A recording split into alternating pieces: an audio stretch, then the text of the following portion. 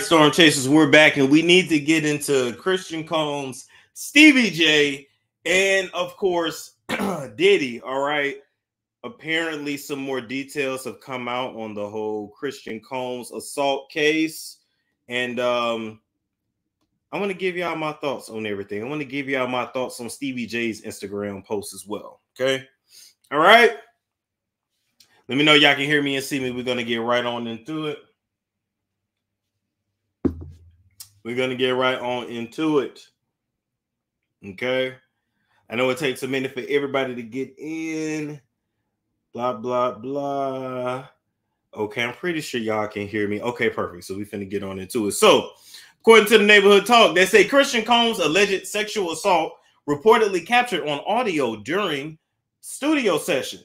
Okay, this is all uh this is all linked back to the Little Rod producer lawsuit. Okay, Woman is heard saying, Don't touch my legs like that. Take your hands off my ass. Okay? So they got the audio. And I'm here to let you know, baby, if they got the audio, Christian is done so. Now he looked like his daddy. He wanted to stunt like his daddy. He couldn't come up with, he couldn't create his own identity, his own personality, his own swag. Copied everything from his daddy down to the assaultation, allegedly, but couldn't copy the work ethic. Couldn't copy the innovation. Couldn't make no good music. And barely could even do the damn Diddy Bop. And we know that Diddy barely does the Diddy Bop. Diddy could never dance. Diddy could never sing. I really don't know how y'all was so impressed with him over the years. Okay? So let's get on and read this, all right? According to court documents, a woman named Grace O'Markay or McKay or McKay, uh, let's just call her Grace, claimed she was sexually assaulted by Christian on a yacht in 2022 and that Diddy aided in his behavior. Not a train, not a sexual assaultation train, not a three-way. What kind of freaky ass fantasy is this? Daddy, uh, Papa, and the son uh, uh dicking down uh the lady and not even a lady that wanted to do it consensually. Now, let me tell y'all this one. I was, uh, you know, a little while, well, it's probably about a year, year and a half back. I was at a sex club and I met a chick that said she had just got through having a threesome with a father and a son, you know, Eiffel Tower, de- Devil's threesome, whatever you actually want to call it. So these things, they they do happen. They do happen, but I'm gonna keep reading. But Damn, not the not the daddy helping him R word the girl. This ain't no better than um Austin McBroom and his daddy, and allegedly what they was doing to them little Brazilian girls down there. That ultimately led to his divorce, but I'll you know say that story for another day.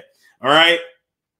They say she has audio of her of Christian uh, assaulting her because there was a studio on the yacht where Christian was recording at the time. Recording what? Because he ain't never released nothing that we like. Has Christian ever released any music that y'all liked or cared about? Called himself King Combs, and I still don't know what he was king of because he had not even made headway in, in, in music to be calling himself a king. I had never heard him do a freestyle, a, a 16 bar, nothing, nothing. King of what? You know, his name should have been Daddy number two, Diddy number two, Daddy's baby. But you know, that's McMill. Mill. I guess Meek Mill had Daddy's baby name tag, so he couldn't do that. Anyway, all right. Uh, let's see. Uh, with none other than Little Rod. If you can recall, Little Rod is the reason Diddy is being investigated for alleged sex trafficking. Now, it appears the producer was collecting evidence the entire time he was employed by Diddy. Hmm. Grace says she was working uh, as staff for the charter service. And Christian took a liking to her. Oh, oh, oh, okay. Okay. So he took a liking to the charter, to the boat, the yacht staff. Wow. All right. He liked his girls medium poor too. She included transcripts of audio clips recorded by Lil Rod that she states are evidence of her denying his advances as Christian gropes her. She said, Excuse me, you don't touch my legs like that. I'll move my legs where I want to. Grace is heard saying in the recording, If I want to do this, then I will. You don't touch my legs like that. End quote. All right. And then Christian Combs said, Listen, you and everybody in the crew. Hold up. Christian then says, Christian then then says, wait, wait, wait. Listen, you and everybody in the crew. I can't, I have to go down. I have to go down. Grace says she informed him that her boss would have to permit her to remain in the studio, something she knew they wouldn't do. And Christian asked who he needed to speak to. Who can I talk to? I'm gonna say I requested you right now. Uh, so Christian said, I'm my daddy's son. I'm Diddy's son. Is Diddy. Hold up. Is Diddy. The D, the I, the D, the D, the Y. Is Diddy. Hold up. Is Diddy. Wow. So he just think he can do whatever he want, whenever he want, wherever he want. But I told y'all yesterday or day before last, whenever hell we've been talking about this story so many damn days. I already didn't told y'all that the people, and I got sources that told me he's rude to staff everywhere he goes, everywhere from the drivers to the doctors to the to the club, the people at the club, the DJs, the the everywhere he go, he thinks that he is God's gift to earth. He thinks that he walks on water. He thinks that he he think that his shit don't stink. He really think that he is somebody. And really, him and none of them kids is anybody, to be honest. Damn. This is why his black ass should be in school. Um, let's see. Uh, uh, well, who can I talk to? I'm gonna say I requested you right now. Christian said, according to the suits.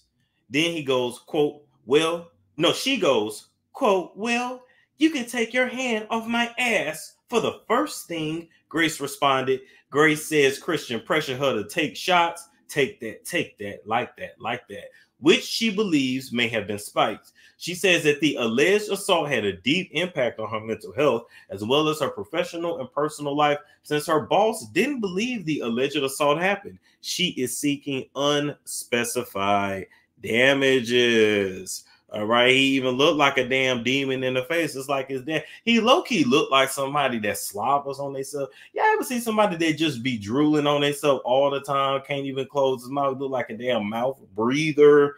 You know, I don't know if he got a over yonder bite like Dr. Heavenly. I don't know if he got fake teeth. I don't know what's going on.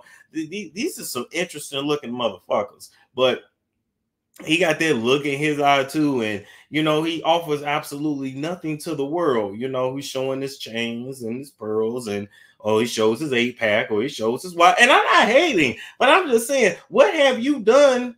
What have you given back to the world? You have not accomplished anything yet. You are not your daddy.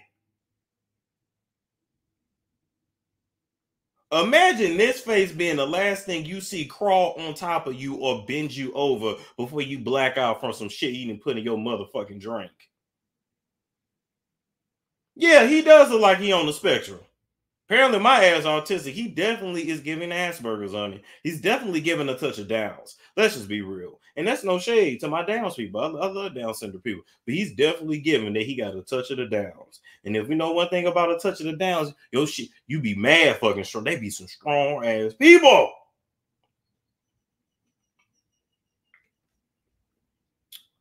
Anyway, so we're gonna move on.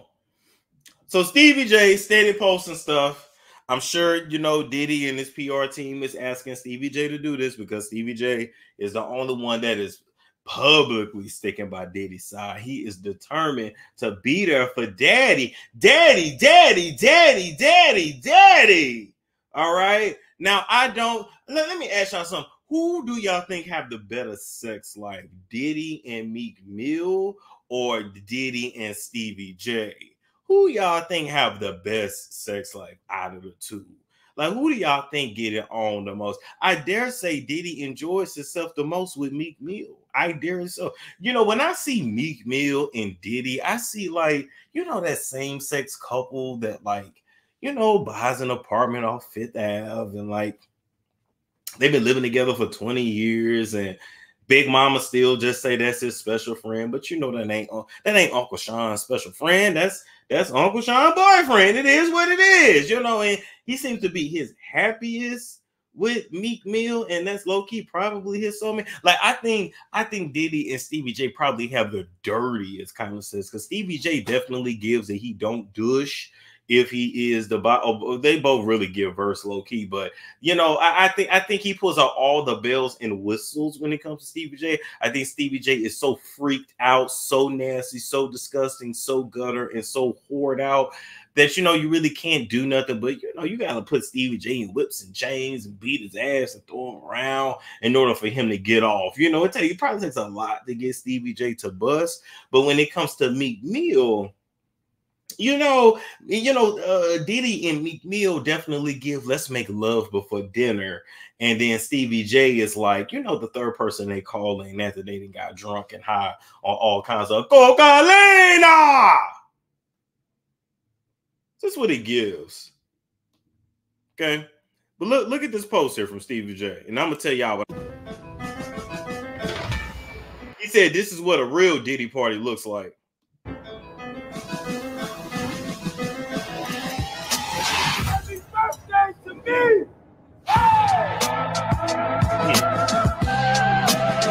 That music. But you see, look at everybody that's there.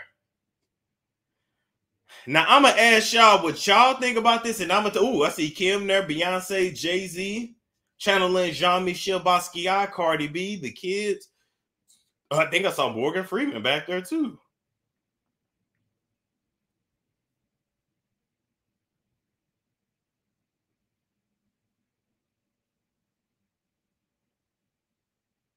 Diddy P. Look, LeBron James there.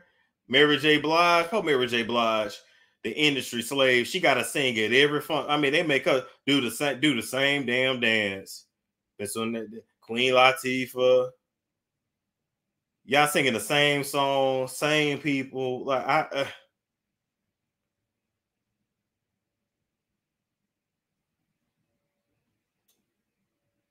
I can only imagine this nigga is a menace to be around.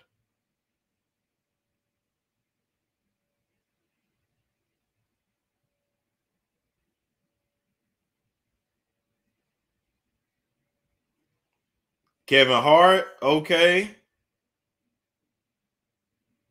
Now, now, now, now, what did y'all get from this video. What do y'all think Stevie J? Because you know Diddy had him post this. What do you think that Stevie J and Daddy is really trying to tell us?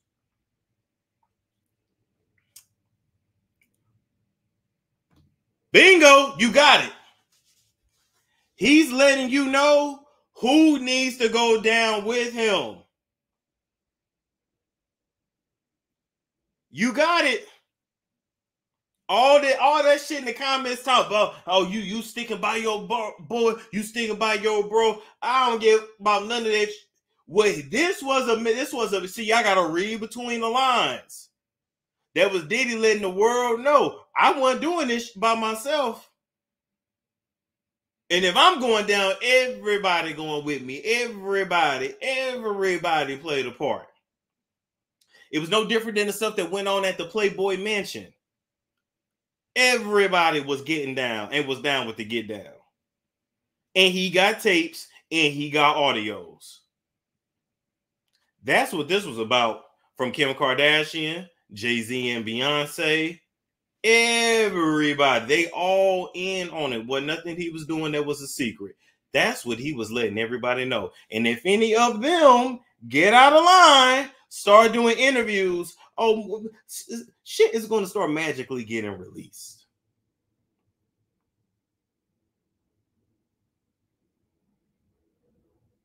Mm, mm, mm, because you got to keep this in mind. Diddy had cameras and audio recording devices all over his house, right? So what happened? Th- really think about it when you go to these types of parties. You might think oh shit, well, let me get out the way. You know, they filming in that room, cameras out here, phones out here. You know, I'm gonna go, you know, let's say, let's say it's two two niggas. Okay, I'm gonna go smash you in this closet. Or I'm gonna no pun intended, or find a spare bedroom on the third level. Oh, I'm finna uh, uh, blow your back out in here, not knowing you secretly recorded. So even though there was nobody recording you like this, it was a little bitty bug in the upper right hand corner of that room that caught everything. If anybody get out of the line, that's your ass. Shout out to Cindy. She said there are two parties usually the actual party and the after party. Joe Budden said it himself last week on the podcast. And best believe a lot of them still go to the after party. Mm, mm, mm. Any comments? Any comments? Did y'all want me to get into this stuff with um? Damn, it's thirty five hundred y'all here. Did y'all want me to get into this stuff with uh? What, what's that little What's that little girl's name? Aoki Lee Simmons.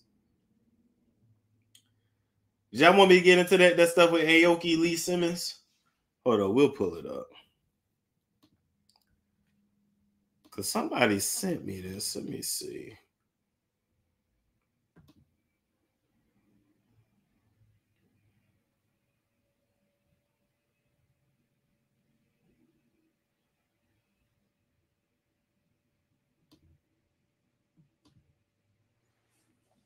So this is uh, uh Kimora and Russell Lee Russell Lee Kimora and Russell Simmons' daughter, Aoki Lee Simmons.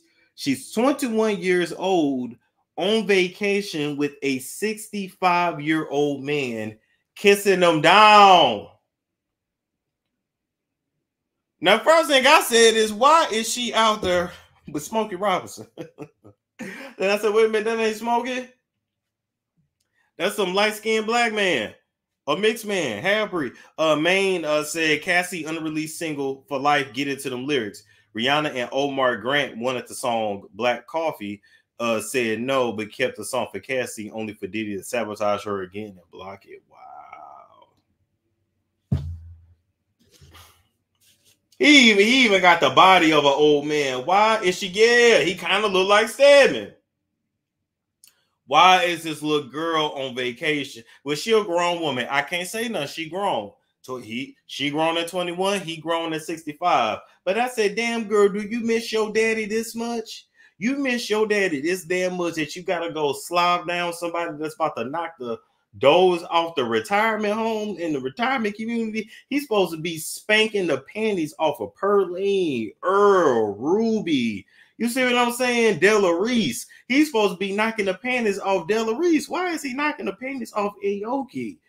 This old man then took every BlueChew, sit in the field, Cialis that they make, and he is uh, perked up, peeled up, and ready to go. He popped that blue pill 30 minutes ago, had him a good cheeseburger down there on the beach, two whiskey sours, and now he ready to give this girl the worms and blow her young little coochie out. Does she really want to be there with this old ass man, or is she being sold and pimped? Is somebody short of money? Because Russell ain't sending no more motherfucking money. That's done. You did? That's done. Russell already let you know. He told a bitch, the bit of my money I got left, I got to live over here in Indonesia for the rest of my life. Your mammy spent the rest of it on her uh crack ass, crack ass husband. So ain't no more motherfucking money. she gonna give Papa a heart attack. She ride him too hard.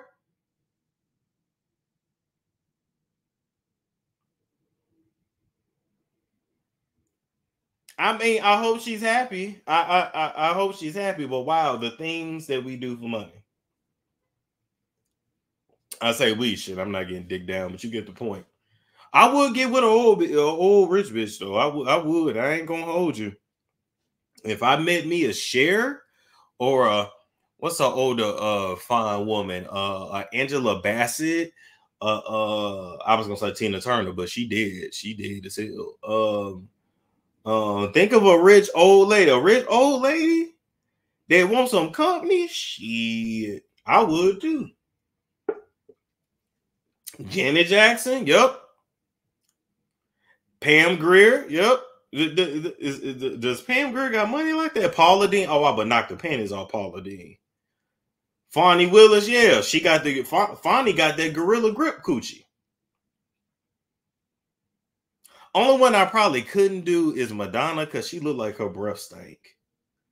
Yep, Lynn Whitfield, Loretta Devine. Yep, Oprah. Yep. I'm just keeping it real with you. I do, man. What? Especially if she, oh, Storm, you can have whatever show you want. You, whatever you want. I put you on the cover of any magazine, baby. Mm-hmm. Them eggs is dried, fried, and laid to the side, so no rubber. Oh my God, yes. Martha Stewart definitely would knock the panties off Martha Stewart.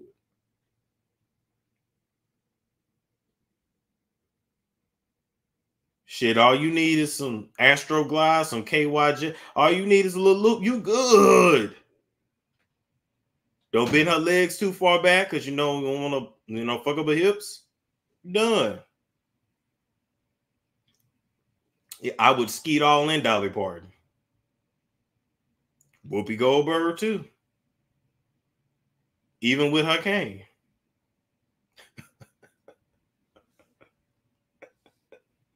I'm just saying. Gayle King, yep, Gayle King still, yep, but it was, and I would convince Gayle King to, to find a new wig. She wearing the same wig for 30 years. Jasmine got her too. Phylicia Rashad, her too. Sheila E, her too. They gotta have money though. Money on top of money on top of money. Gotta have money though. Queen like Queen Latifah don't like men. She don't like dick.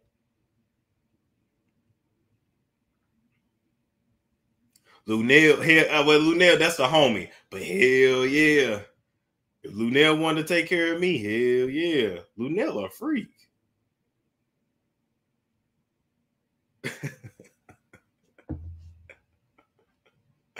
now, this this man's name is uh Vittorio Assaf. He's the founder of Serafina. Let's see, founder of Serafina.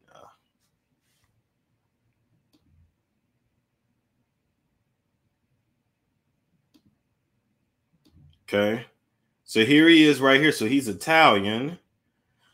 Serafina Restaurant Group was founded in 1995. Oh shit, I was two years old by Vittorio Assaf and Fabio Granato. All right. Have you ever been at a restaurant? I've never been at a restaurant. Any New York people? By the way, shout out to the New York people. I heard y'all was uh shaking in a tumbling.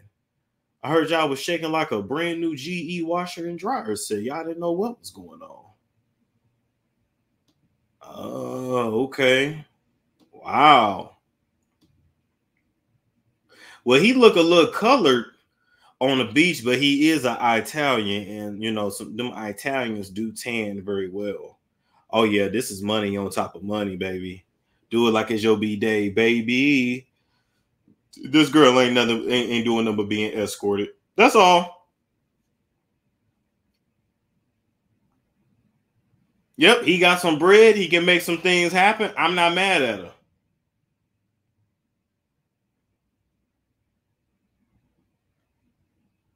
I'm not mad at her.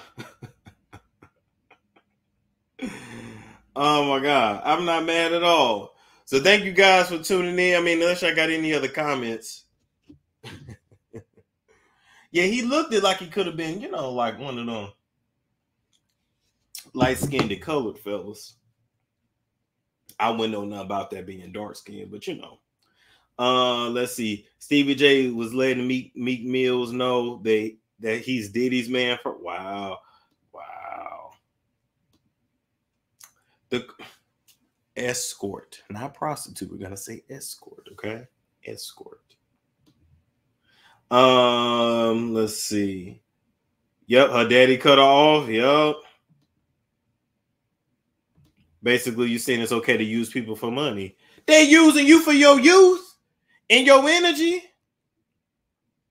What you think them old ass people uh, uh coming to you for when you got your youth? This for your youth and your energy. So you gonna drain me? I'm gonna drain your pocket. But I don't under. What's the problem? Or is you out here still dating for love? Well, shit, dating for love will keep you poor. Just keeping it real. Escort that social security. One hand watches the other. Exactly. And another thing y'all gotta realize too, it ain't tricking if you got it. And thank you to uh wait, I couldn't even see who that was. It went by so fast. Uh Jessica Reyes said, I enjoy your lives, your authentic- authenticity in the Gusta report when no one would. Thank you, Jessica. Yeah, appreciate that super chat. Yeah.